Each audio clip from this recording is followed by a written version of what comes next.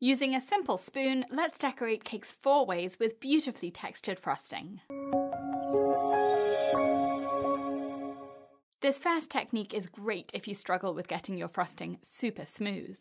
Spread frosting onto your cake as normal and smooth it with a cake comb, but don't worry about indents or air pockets or imperfections. Just focus on pressing your cake comb down on the cake board to line it up straight against the cake, so that the sides of the cake are straight. Tidy up the top edge, but again, don't worry about getting it perfect because we're going to add texture now with a spoon. Watch how the spoon covers up this seam in the frosting, and it'll cover up the air pocket next to it in a moment. Hold the spoon with the back against the frosting and press lightly against the cake as you drag the spoon up the side. It will smooth the frosting as the curve of the spoon adds texture with these swooshes, and the spoon will also pull the frosting into a peak up above the top edge. So that's why it doesn't matter if the top edge of your cake is perfectly straight and level, because now you have this gorgeous texture creating a new top edge. Here's a secret for all of these techniques. Heat your spoon. If you dip the spoon into a glass of hot water every minute or so, it will keep the spoon hot, and that will help smooth the frosting and prevent air bubbles in the frosting. Dry the spoon after dipping it in the water so it doesn't drip onto the frosting. With a hot spoon, you can create neat texture and perfect the frosting at the same time. Here's another way to create texture with a spoon after frosting your cake. Just like with the last technique, don't worry about getting perfectly smooth frosting or sharp edges around the top of the cake, because this texture is going to cover all of that up. Use a cake comb a few times to get straight sides on the cake, and scrape over the top edge of the cake just to get rid of the excess frosting, rather than taking the time to get a neat edge. Rest your spoon on the cake board, but hold it sideways instead of vertically, and press it lightly against the frosting as you spin the cake. Now that you know the hot spoon trick, this won't be a surprise, but look at the difference if you don't heat the spoon. For these first grooves around the bottom of the cake, you can see that the spoon sticks to the frosting and pulls it, and that creates little tears or air bubbles or air pockets in the frosting. Now, after dipping the spoon into a glass of hot water, the spoon is hot and it glides over the frosting instead of sticking to it, so it doesn't pull and tear the frosting. The textured frosting is much neater now.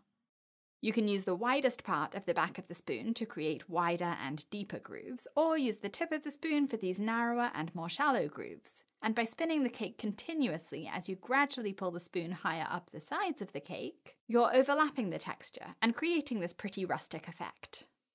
When you get to the top of the cake, you'll create a lip or a wall of frosting as it bulges up around the top of the cake. And you can leave it like this, or you can tidy it up now with an offset spatula swiping sideways to push the lip over onto the top of the cake and then lift it off on your offset spatula, and that creates a neat straight edge around the top of the cake. Remember to wipe your offset spatula on a towel or paper towel after each time you swipe, so that you don't drag dregs of frosting back onto your neat edge. So pretty. I love the variety of textures you can create with just a simple spoon. Here's another one to try after frosting your cake. And same as for the previous two techniques, you don't need to have smooth frosting for this to look amazing.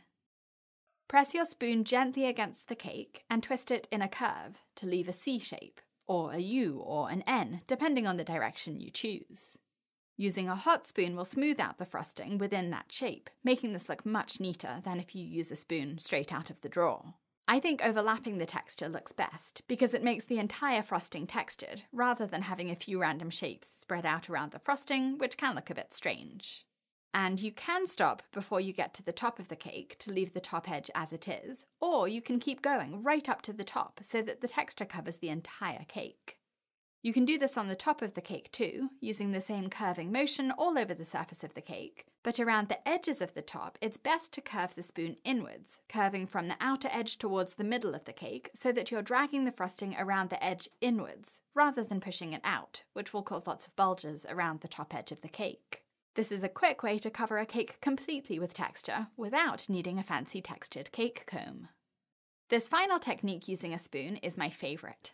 After covering your cake with a crumb coat, frost the top of the cake and smooth that frosting, and then scrape around the sides of the cake to take off any of that frosting that's sticking out over the top of the cake, so that the sides of the cake are straight with no frosting bulges. Just like for the others, a glass of hot water will give you the best results for this technique. You'll need a piping bag, ideally with a round piping tip. If you don't have a piping tip, you can just cut the ends of your piping bags so that the holes are all the same size, and then you can use the piping bags with no piping tips. Squeeze a dot of frosting onto the cake, starting at the top or the bottom. Press the back of your hot spoon into the dot and drag sideways to create what looks like a tail on the dot. You'll get used to the pressure you need after the first dot or two. You need enough pressure to flatten the dot and to pull some of the frosting across the cake, but you don't want to push so hard that you expose the crumb coat underneath the dot. Continue around the cake, squeezing each dot of frosting over the top of the tail of the previous dot so that they overlap. If you want to, you can pipe a dot and then use a toothpick or your offset spatula to score a line along the cake like this, so that you know where to pipe the dots in the rows below. But it's pretty obvious looking at the first row you've piped, where you should pipe each dot in the following rows, so that they all line up on top of each other. I love the look of this scallop-shaped texture. The final dot of each row is tricky because you can't drag it sideways with your spoon since the next dot is in the way. I'll talk about options for this in a minute. You can use the same colour of frosting for this texture all over the cake, or change every row. I started with pale pink, and now I'm adding some more gel to make a darker pinky purple, and that way I can use the leftover frosting from the first row of scallops. And I'll do the same for each row, so I'm always using up the leftovers by turning them into my next colour. You can leave the final dot as a dot, rather than a scallop. And I would display this cake on a dessert table so that the final dots in the design are at the back of the cake, so they won't be visible. Or you can press a sprinkle into each one, which I'm doing with these big gold sprinkles and I love the way they look.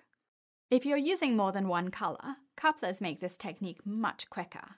If you don't use couplers, you have to squeeze the leftover frosting out of the piping bag to then push the tip out through the top of the bag to use with the next colour. With a coupler, you attach the piping tip to the outside of the bag. So after using it with one colour of frosting, you just unscrew the piping tip and move it onto another bag with another colour of frosting, like this. Squeeze the bag so that the last little bit of the previous colour comes through the piping tip, and it's ready to go. The trickiest part of this texture is spacing it out properly so that it covers the cake from top to bottom without having to squish in the final row. Or squeeze the last row of dots bigger so that you can fill the remaining space on the cake, which I'm doing here. For this reason, I suggest starting at the bottom of the cake and working your way up, because you have a bit more leeway around the top of the cake than the bottom, since the cake board provides a very definite endpoint to the cake at the bottom, but at the top, it's not really noticeable if the scallops finish just above or just below that layer of frosting you spread onto the top of the cake at the beginning. It's best to keep your spoon hot for the smoothest frosting on the scallops. Also, it's important to wipe the back of the spoon off on a towel or paper towel so that it stays clean. Because after pressing the spoon against a few dots, you'll notice frosting start to build up on the back of the spoon. And if you then press the spoon onto another dot, you'll drag that built up frosting across the dot and you'll see that sitting on the surface of the scallop. Is this cake your favourite too? I hope you enjoyed these techniques. Visit my cake school on BritishGirlBakes.com to learn hundreds of cake decorating techniques and designs, and join my Club Plus for access to every mini course, master course, live workshop, and 5 Minute Fridays. Thanks for watching.